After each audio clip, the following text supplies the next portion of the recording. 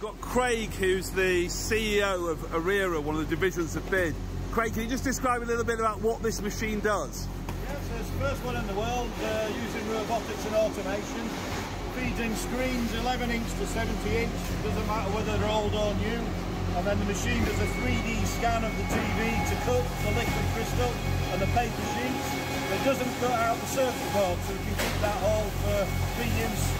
Fantastic. So how, how many can you do a day from this one from this one robot? There's one machine will do 80 screens per hour, but it gets quicker. It has machine learning. So as soon as it does a Samsung ABC123, knows the dimensions, next time it gets quicker. So we hope to hit 100 screens an hour. Fantastic. So all the bits that come off this screen, you've got all the plastic, the metal. Can you show me what happens to it? Yep, so we've got homes for all the material. Uh, the output of the machine, we've got liquid crystal, GPPS polystyrene, PET like your Coke bottle, all available for recycling. then we get the whole TV that comes out as you see, the two robots in the machine have cut out the liquid crystal, but it keeps the rest of the TV whole. Now we can get to the printed circuit boards, aluminium, metal, other plastics, cable, all for reuse. Fantastic. And how does this compare to your traditional way of recycling TVs? The rest of the industry shred TVs, so they have massive power consumption. So not just recycling now, but how much CO2 and carbon. We've got 10 kilowatts only on our robots A big shredder like the competition, massive power consumption, and a shredded commingled mess of plastics and metals and circuit boards. We're all homogeneous, single product stream. Got you. So can you show what happens after this screen comes out now? Can you show me what happens to, to that? TVs come out, we're going to go to a workbench. So we're not quite manual, but the reason we're quite manual is to maximise the commercial value of the product. And, and you've set this place up recently?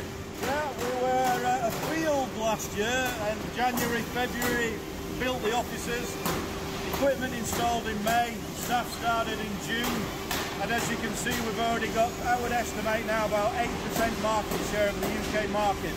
Fantastic. Now this looks quite traditional, traditional bashing and dismantling. Is this the only real manual labour that's in, involved? Yeah, so the manual labour here is really to get to the product stream so that we've got a really good clean product. Can you show me some of that working close up?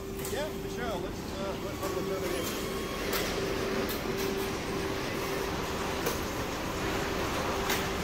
Yep, we've got the plastics coming off, We're down to liquid crystal. So this one uh, is complete because it's one of the newer LED TVs. So some TVs we don't actually process through the machines, they're, they're brand new. So plastics come off, so again, we can recover the plastics in-house. The circuit boards, we can look at reuse. We've got all the right to repair act now, and OEM having to make parts for 10 years after a product becomes obsolete.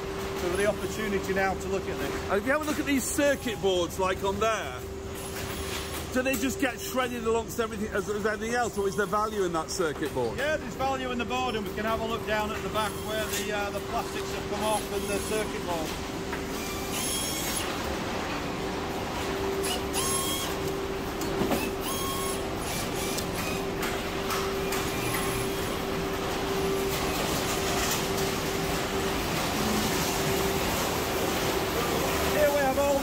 Material that's come off the benches. Everything's pre-sorted into different grades of circuit boards. As we were saying earlier with the circuit boards, now we can, that'll go off to a smelter to recover the aluminium and gold but our next stage is to look at recovering individual uh, circuits off. So it's a bit, it's a bit like urban mining, where yeah. you instead of digging into the soil, you dig into old stuff. Absolutely, it's already there, so you don't have to go in the ground. You've already got aluminium and gold, uh, tin, palladium, silver already there, so it's all recoverable. Even the new LED TVs will recover the uh, LED strips so even all the copper content will recover from the LED lighting strips that are in there. Aluminium, different grades of uh, ferrous, that's all linked to the London Metal Exchange, that's a uh, index pricing. Different thicknesses of plastic, so these are all PMMA from monitors and TVs. Everything's graded to maximise the value and the reuse of the product. It's a world away from just shredding a, a box then. Yeah, you shred it, high energy, and you just end up with a commingled mess. You, you shred food, you get a mixed carrot. You do the same with plastic, it's no different, it's all mixed.